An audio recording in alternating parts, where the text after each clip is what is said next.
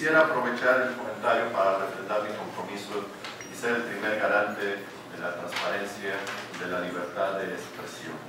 Por eso también con el único fin de contribuir a tener todo el contexto y toda la información para que la Contraloría pueda hacer su labor de manera adecuada, yo quisiera también compartir con ustedes un documento que recibimos el día de ayer de parte de la propia empresa radiodifusora. Por lo que le pediría al secretario del ayuntamiento de lectura del mismo documento, si es nada más.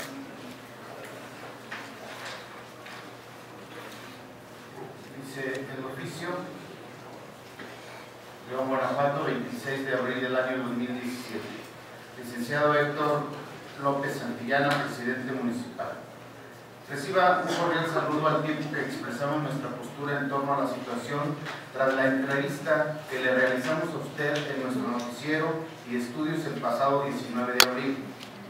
El espacio para la entrevista, en donde usted abordó el tema de la inversión en obra pública para el presente año 2017, nos fue solicitado por el director de Comunicación Social, Ignacio Camacho Flores, a través de, y a través de esta empresa. Le propusimos que fuera durante nuestro noticiero matutino en la fecha mencionada. Sin embargo, Ignacio Camacho dejó abierta la posibilidad de que usted abordara otros temas, así como llamadas del auditorio, tal como ocurrió. La decisión de quien, se, de quien se hiciera cargo de la entrevista directamente por parte de la empresa se le asignó al licenciado Jaime Ramírez Martínez, en su calidad de director de los servicios informativos de esta emisora por tratarse del alcalde.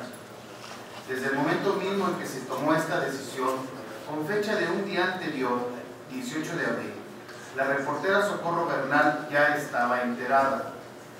Lamentamos profundamente que este falso debate que se ha generado, así como los malos entendidos a raíz de un asunto que solo le concierne a nuestra empresa, como todos nuestros radioescuchas nos catalogan, la poderosa RPL es un espacio de entretenimiento para las familias de León, por lo cual no estamos de acuerdo en la censura ni coartar la libertad de expresión de las personas. Nosotros escuchamos todas las voces y posturas de nuestro auditorio. La entrevista nunca fue condicionada, como tampoco nuestros noticieros recibieron presiones a cambio de contratos de publicidad. La, la, relación de la poderosa RPL y la presidencia municipal siempre ha sido de mutuo respeto. Lamentamos sinceramente los hechos generados por terceras personas. Le reiteramos nuestro compromiso para seguir caminando. Nuestros espacios noticiosos siguen abiertos en el momento en que así se considere. Quedamos a sus órdenes.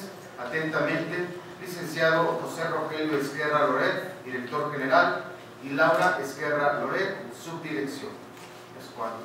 Muchas gracias, secretario. Por favor, turne esta documentación también a la propia Contraloría para que pueda desahogar el proceso de investigación. Y no habiendo